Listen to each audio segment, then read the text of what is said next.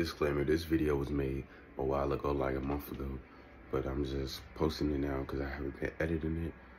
But hopefully you enjoy the video still. I made this when I had my, before my spring drop. So I'm sorry for the delay, but I will get back on track. Thank you guys for watching. How you doing YouTube? It's Jay, the 17 year old owner of Big Bandz Apparel. And today I'll be showing you guys how to make a reflective shirt. I'll be taking you guys through the journey with me to make it. I'll be doing tests, different cuts, different pressures, and see what works the best. And I also gotta see if it even glows in the dark or reflects in the dark. So if you guys wanna join me in this journey, watch this whole video. And I ain't gonna talk too much, let's get straight into the video. All right, so now I'm in Cricut Design Space. I got my measurements. I'm finna go to upload at the bottom and put in the designs that I want for this. This is my thing, all three of them. And I also wanna do a star for my test. All right, by the way, if you want this design, it will be on the website, drop in a few days after this video. All right, so now we put in the measurements. So the front is this little spider design. Put it at six, bam. I'm not trying to type no numbers.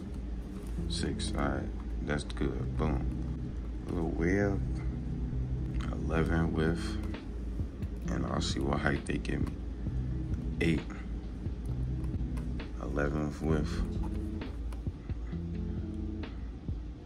seven, eight, 15, but that's 20, oh, that's definitely enough space. But let me measure the t-shirt, make sure it's 15 inches. Let's measure it real quick. I got the measuring tape right here. Let me try to find it. 15. All right, we got 15 right here. Make sure it's at least 15 inches. Yeah, it's way longer. All right, we good. So we finna click make it. I'm tripping. Let me go back. I have to do the test. I almost forgot. Add to canvas, view. It's gonna be two inches, two to three inches. Let me put a two. All right, I had to go back to the heat transfer warehouse website. This is where I went in one of my last videos. Went down, it shows you consent for each machine. But this is the same as the puff, iron on, and default. So let me go to Cricut. I'll put three for I can do three different temperatures. The one they say, one like 10 up and 10 down. See which one I like the best. After look at their application instructions, reflective details, and the comments, I finally found it. Right, the purple one, mirrored. All right. All I did was click on this. Now go to Cricut. Yep, it's a mirror continue. Iron on, default. A tip for you guys when you're using this, you have to put the darker side up. As you see, this side is lighter. Darker is a little bit hard to see, but yeah, and then just cut it. Alright, so here go the Siser Easy Reflect. Gotta put it on 305. And then 15. It's already on 15. Alright, let that heat up. This is my test hoodie. Everything in there. Alright, I'm trying to put it in a spot that don't have a wrinkle. Put it right there. Put it down here or whatever. I don't know if I use a Teflon thing. I'm gonna try it without a Teflon, then I'm gonna do it with it.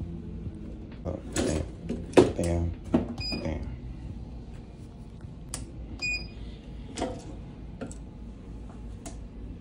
It says uh, a warm feel, so I gotta wait a little bit.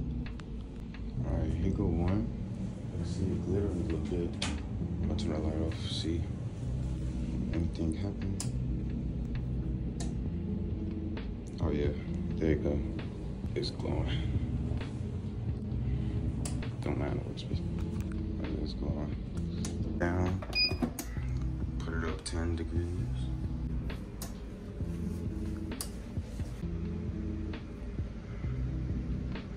I like more heat. I'm gonna just do these two, and now I'm gonna do the actual thing. Now it's time for the real stuff. Pre-press, shit is not wrinkled. I gotta weed it. Did the signs on the front over here, so I just pierce it through. Once you see that little thing right there, I just peel up, not too far though. I go straight, and now it's coming out. We got this spider design. Spider's going this way, so. Those are my settings. Alright, the moment of truth.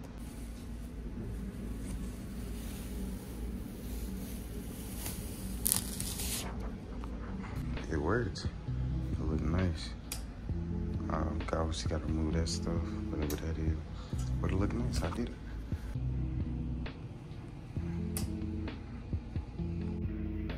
Is gonna be more down here, probably. That's a design. Hope you guys enjoyed. Make sure to like the video. They can follow me on my journey. I really appreciate you guys. Check out the Instagram, TikTok, and Big Bandz Apparel. Much love.